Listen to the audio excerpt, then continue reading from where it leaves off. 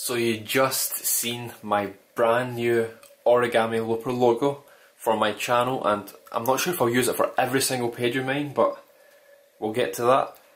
So the idea was, if you know, if you don't already know, Looper is the face of my channel. He is the face of nearly every single page I have and have made.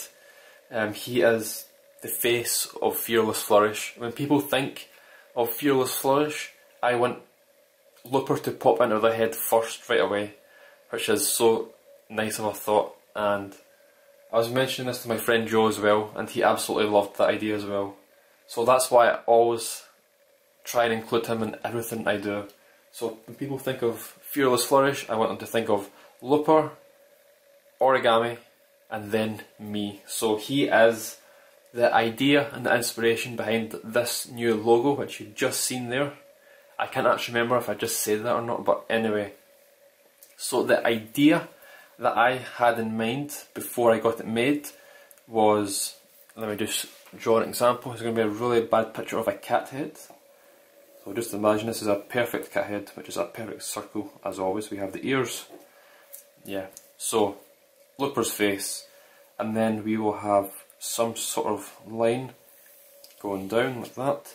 Now Looper's face will be in the polygon or polygonal effect, which you'll see in a second. Um, basically that idea. Now, the reason I have this line here is because the right hand side will be in colour and that will match his colours to his face which will have different shades of oranges, light oranges, dark oranges, some white um, yeah, and the left hand side will be white, clear white, light grey, with lines going all around it, same as this, but obviously not coloured. And then my name somewhere, or down the side, or even up top.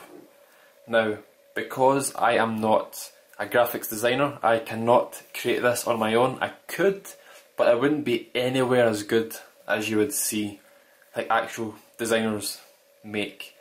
So over the past couple of weeks there's been videos popping up on my YouTube page called the, uh, About Fiverr, the website Fiverr, where people pay people to finish a design or create an animation or something like that. So I thought I'm going to try it and then I went on Fiverr, typed in origami and lots of people popped up. Basically it's peep it's where you can pay someone to do work for you. Obviously find people that are graphic designers or are trained in this industry that they can make it for you. So I found someone and it's really cheap as well.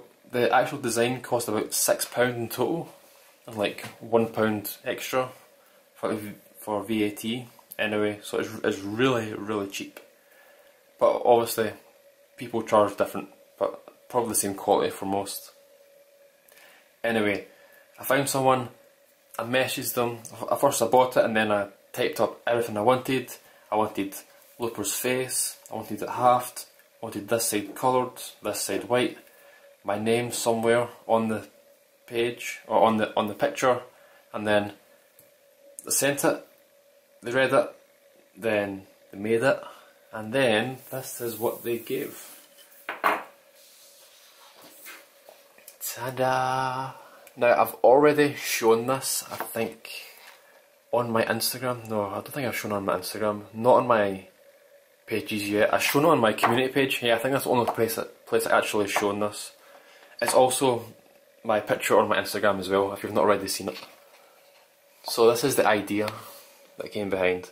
Now the, the right side isn't as dark as this because when I print it on the shiny paper on the highest quality it comes out slightly darker so I may I might adjust that on editing as well if I need to. Pardon me.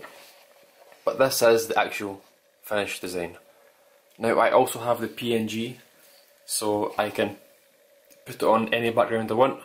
I didn't they also offer where you can buy the I think it's called the vector files but I don't have the actual program to use this so I don't think I really need it.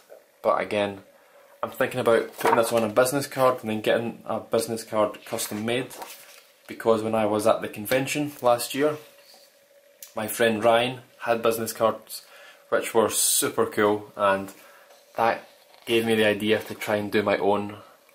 So this is a good starting point for that. So thank thank you Ryan if you're watching for your business cards which are really neat as well. Uh, I'm definitely going to try and make my own. Hopefully I'll have some ready for this convention. If not, whenever. But this is a good starting point. So we have, first of all, Looper's face, or near enough. Again, that, the right hand side is coloured. I may change the green. I'm not too sure on the green, but again, tell me what you think. The left hand side is perfect.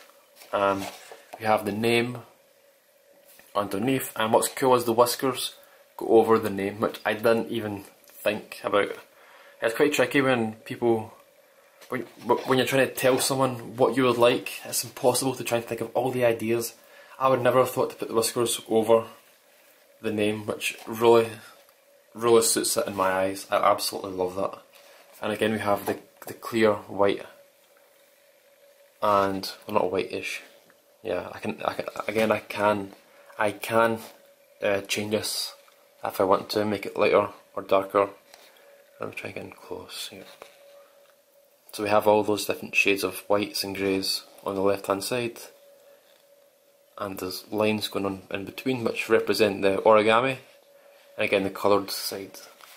So Looper, thank you so much for being the face of my channel and folding all the models for me. I do all the business stuff like video editing and uploading and recording where Looper, as you know, is the folder. He does all the folding and if you didn't already know, paws are a thousand times better than folding. So I'm looking to find a doctor to amputate my hands to get me paws so I can fold just like him. So that is the, that is where the idea came from and how I went about creating it.